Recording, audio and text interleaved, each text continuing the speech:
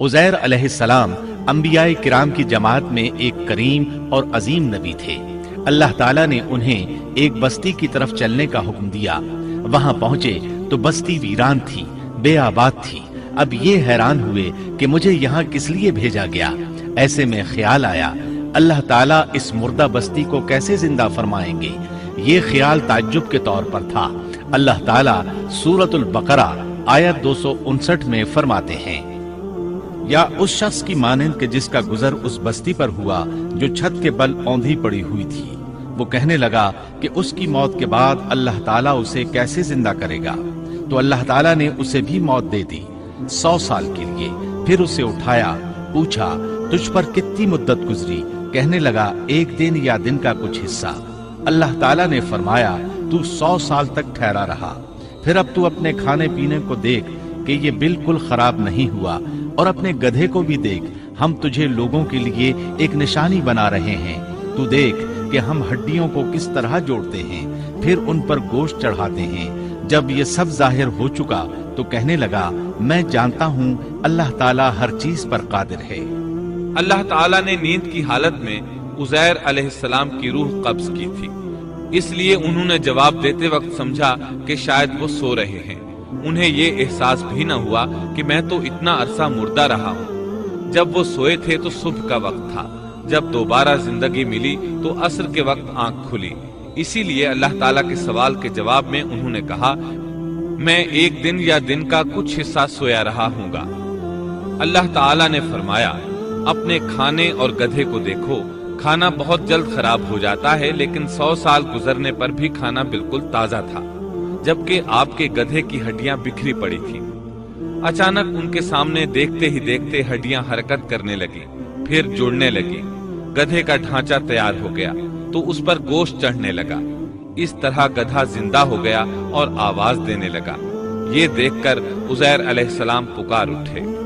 واقعی میرا پروردگار ہر چیز پر قادر ہے۔ ان کی اس عارضی موت کے دوران وہ بستی آباد ہو چکی تھی۔ عزیر علیہ السلام نے ان سے پوچھا، کیا تم لوگ عزیر کو جانتے ہو؟ انہوں نے کہا جی ہاں انہیں فوت ہوئے سو سال سے زائد عرصہ بیت چکا ہے۔ تب عزیر علیہ السلام نے انہیں بتایا، میں ہی عزیر ہوں، انہیں یقین نہ آیا۔ وہ ایک بڑھیا کو لے آئے، اس کی عمر ایک سو بیس سال تھی۔ انہوں نے اس سے عزیر علیہ السلام کے بارے میں پوچھا۔ اس نے عزیر علیہ السلام کی دس نشانیاں بیان کی وہ سامنے کھڑے عزیر علیہ السلام کو دیکھ رہے تھے تب انہیں یقین آیا۔ عزیر علیہ السلام ان کے درمیان قیام پذیر رہے۔ آپ نے انہیں نئے سرے سے تورات کی تعلیم دی۔ وہ اس کو بھول چکے تھے۔ بستی والے ان سے بہت متاثر ہو گئے۔ ان کی تعظیم کرنے لگے۔ اس عظیم معجزے کی وجہ سے رفتہ رفتہ وہ انہیں اللہ کا بیٹا تصور کرنے لگے۔ اللہ تعالیٰ سورہ توبہ آیت تیس میں فرماتے ہیں۔ اور یہودیوں نے کہا عزیر اللہ کے بیٹے ہیں۔ یہ اللہ نے ان کا ایک جرم بیان کیا ہے۔ یہ جرم ان میں نسل در نسل چلتا رہا۔ یہاں تک کہ اس دور میں بھی یہودی عزیر علیہ السلام کو اللہ کا بیٹا مانتے ہیں۔ آپ کا نام دیوان مقدس بھی رکھتے ہیں اور کہتے ہیں یہ مقدس ذات کی نسل سے ہے اور معبود ہے۔ یہی ان کا شرک ہے۔ اللہ ان پر لانت کرے۔ اللہ انہیں اس جرم کی سزا ضرور دے گا۔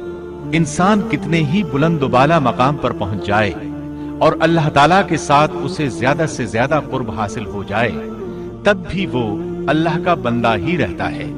اور کسی بھی بلندی پر پہنچ کر وہ اللہ یا اللہ کا بیٹا نہیں ہو سکتا۔ اللہ کا شریک نہیں ہو سکتا۔ اللہ جل شانہ کی ذات پاک وحدہ لا شریک ہے اور باپ بیٹے کی نسبتوں سے پاک ہے۔